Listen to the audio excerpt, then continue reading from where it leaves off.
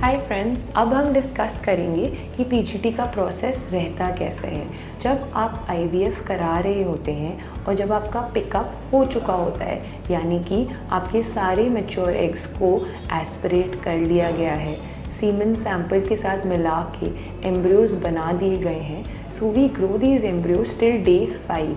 day five के embryos की biopsy की जाती है यूजुअली थ्रू लेज़र पूरे एम्ब्रियो से एक या दो सेल्स निकाले जाते हैं and they are sent for testing usually these reports are available after 10 to 14 days एक प्रॉपर फॉर्म फिल किया जाता है जिसमें इंडिकेशन कि हम क्यों कर रहे हैं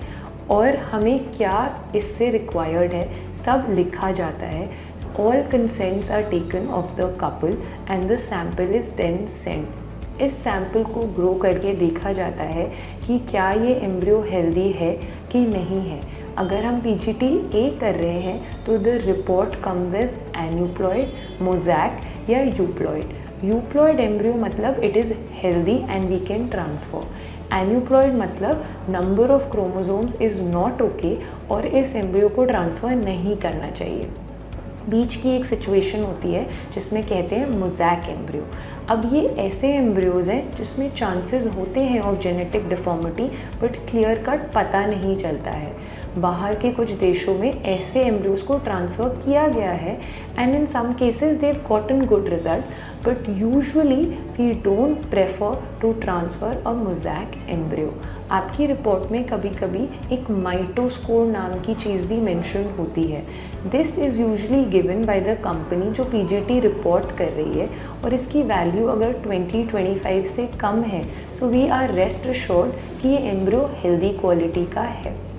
अगर हम पी जी टी एम या एस आर कराते हैं तो हम इसको तभी कराते हैं जब हमें चेक करना होता है कि जो एम्ब्रियो है वो किसी चीज़ का कैरियर तो नहीं है। मैंने आपको मेंशन किया cystic fibrosis thalassemia blood disorders तो ये सारी चीज़ें देखी जाती हैं। इनकी रिपोर्ट में लिखा होता है कैरियर एट रिस्क और अनफेक्टेड अगर अनफेक्टेड एम्ब्रियो है मतलब वो एकदम ठीक है, और अगर इनको ट्रांसफ़र करेंगे तो जो बेबी होगा, उनको वो डिसऑर्डर नहीं होगा. अगर एट रिस्क या ट्रेट आता है तो इसमें चांसेस होते हैं डेवलप करने के, और इनको हमेशा ट्रांसफ़र करना is our second priority and is done only after discussion with the patient P G T is a very advance test और अपने डॉक्टर से प्लीज़ डिस्कस करें specially if you are above the age of 35 to ensure a healthy pregnancy which continues throughout nine months and you get a beautiful baby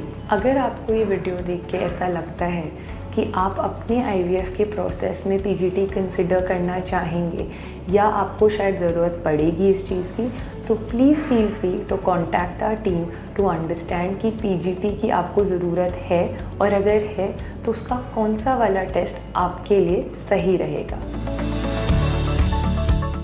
Book a free consultation today.